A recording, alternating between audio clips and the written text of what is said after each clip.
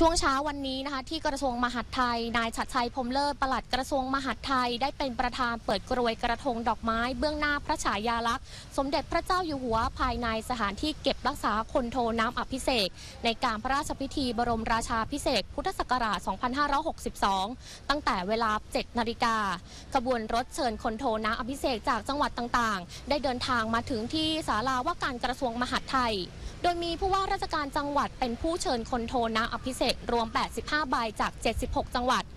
โอกาสนี้ปลัดกระทรวงมหาดไทย พร้อมด้วยผู้บริหารระดับสูงของกระทรวงมหาดไทย ตั้งแถวรับคนโทน้ำอภิเษกจากจังหวัดต่างๆ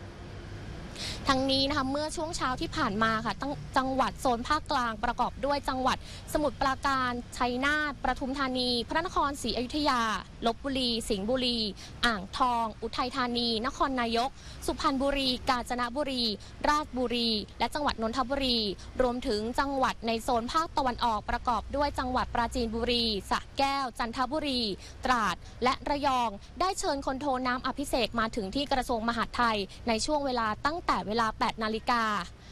เพื่อเก็บรักษาไว้ที่กระทรวงมหาดไทย จากนั้นนะคะในเวในวันที่ 18 เมษายน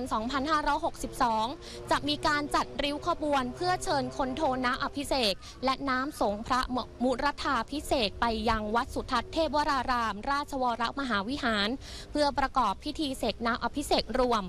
จากนั้นในวันที่ 19 เมษายน 2562 จะได้มีการเชิญคนโทน้ำอภิเษกจากวัดสุทัศน์เทพวราราม ไปยังพระอุโบสถ วัดพระศรีรัตนศาสดารามในพระบรมมหาราชวังและในช่วงบ่ายนะคะผู้ว่าราชการจังหวัดในโซนภาคใต้ภาคเหนือ และภาคตะวันออกเฉียงเหนือนะคะจะได้เชิญคนโทน้ำอภิเษกมาเก็บรักษาไว้ที่กระทรวงมหาดไทยจนครบ 76 จังหวัดค่ะ